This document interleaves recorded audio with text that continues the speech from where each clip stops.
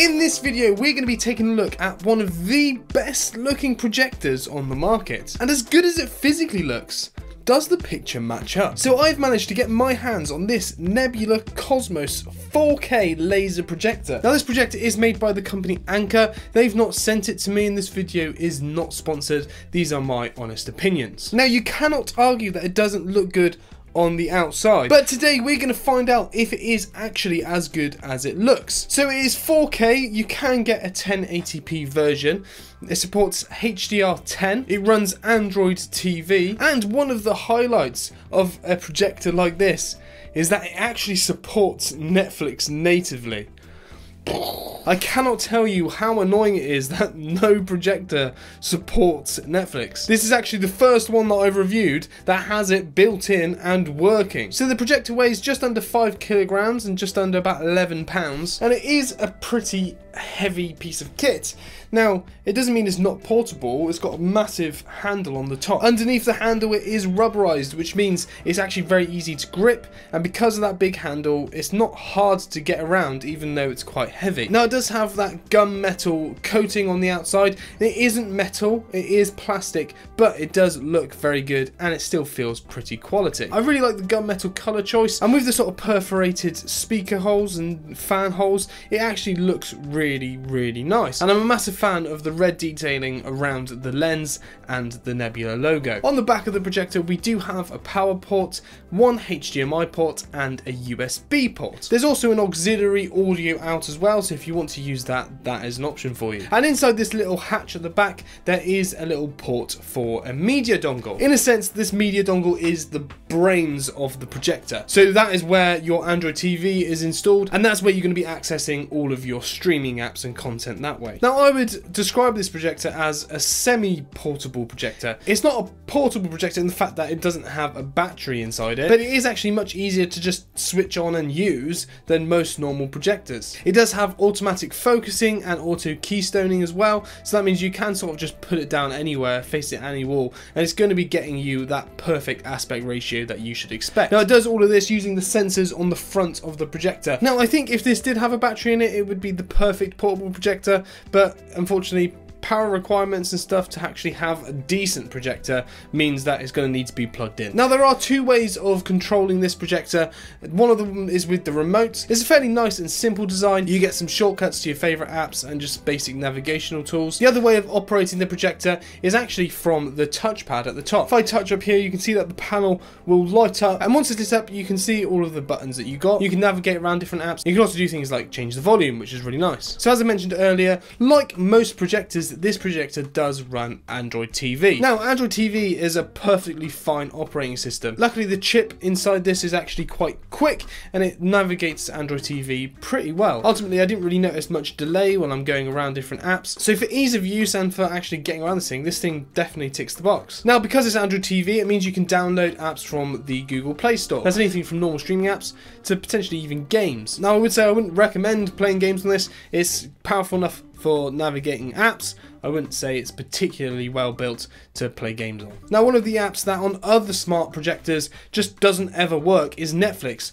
Now, they actually do have a license for Netflix with this projector, and because they have that, it means that you can just load up the app and watch it like on any normal TV, streaming stick, or anything. It's not like annoying projectors where they just don't have support for it. If you haven't seen any of my other projector reviews, I can assure you it is one of the most frustrating things about buying a projector in this day and age. Now because this is a laser projector, it does have some pros and cons. The pros of a laser projector is that the colours are very good and so is the contrast. A lot of the time projectors can feel a little bit washed out, especially if there's any ambient light going around. With a laser projector, your colours do tend to be a bit more saturated. Now one of the issues with laser projectors is that you can get something called rainbow effect. Now this is a weird one and for some people they're more susceptible to it than others. I don't really understand the physics or the biology of it, but that is just the case.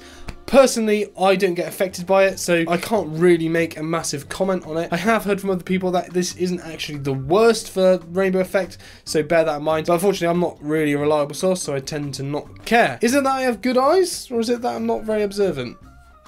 Probably both. Now, being a semi-portable projector brings good things and bad things. The good things are that you can set it up and play it anywhere. You just need a power source. The problems is, is that it doesn't necessarily have the most compatibility that a built-in projector might have. Namely, it's only got one HDMI port and it's got no real audio out other than an auxiliary port. Now I would have liked them to at least included an optical audio out or HDMI ARC, but only having one HDMI port for me isn't really good enough. That being said, the speakers are actually pretty good. But if this is a projector you're just going to whip out on the odd use, being semi-portable, do you need all of those ports? Probably not. Now also because it is a portable projector, it's not something that you're necessarily going to be mounting. You can mount it on a tripod or on a fixed base. It's got a standard sort of camera tripod port at the bottom. And you can also ceiling mount it using that port. I don't really know if I would sort of trust that fitting, but it is there if you want to use it. Now if you just pop the projector on the side, it's actually not necessarily going to be hitting a screen that's up in the air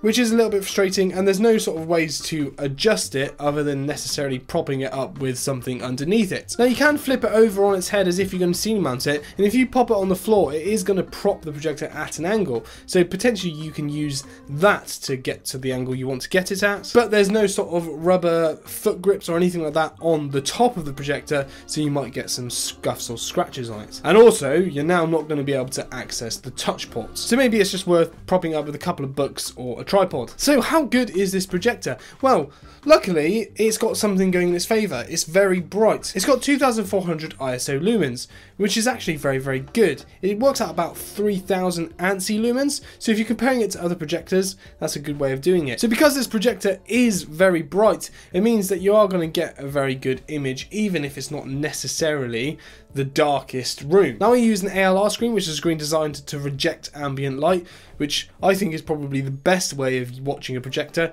but you can just project this onto any sort of wall, and because it's very bright, you're going to be getting a good image. Now I would say the colours are fairly accurate out of the box. Now, I couldn't actually find a way of adjusting the colours and the picture settings when I was in the projector, which is actually a bit of an issue in my opinion. Some people like to change things and customize it, and this isn't a projector for customization. So if you're going to be getting this, just bear in mind you're going to be stuck with it out of the box. That being said, colors and accuracy and everything like that out of the box is very good, so it's not really a massive issue in my personal opinion. Now, as it does have that one HDMI port, I did plug in my Xbox to have a bit of a play and see what the gaming was like on it. Now it is a 60 Hz projector at 4K. It doesn't go any higher than that. So if you're planning on playing games at 120 Hz, it's not going to happen. Now I couldn't actually find any exact numbers for input lag, but from my personal experience, it was all right. It wasn't the snappiest thing I've ever had. Laser projectors tend to have a bit of a delay, but it wasn't unplayable. And when I was playing games, I wasn't getting distracted or getting frustrated by that input lag. So something that is actually very important to consider is the price. Now you can get this in the UK for about two grand and it goes up to about $2,200 in the US. Now if that sounds a little bit too pricey for you, you can go for the 1080p version and save yourselves a few hundred pounds. I will stick links to both of those in the description below. So if you are interested, please do go down and check them out. But what is my verdict? I think this projector is actually a fantastic option for you. Now if you're looking for a projector that looks really cool on the shelf but also packs a punch then this is going to be a fantastic option for you. Now I would say this is probably a good contender against the XGIMI Horizon Pro but I think I could probably cover that in another video. So if you want to see that comment down below and maybe we can make it happen. But if you do want to see my review of the XGIMI Horizon Pro you can click it somewhere around here and I will see you in the next one. Whoop!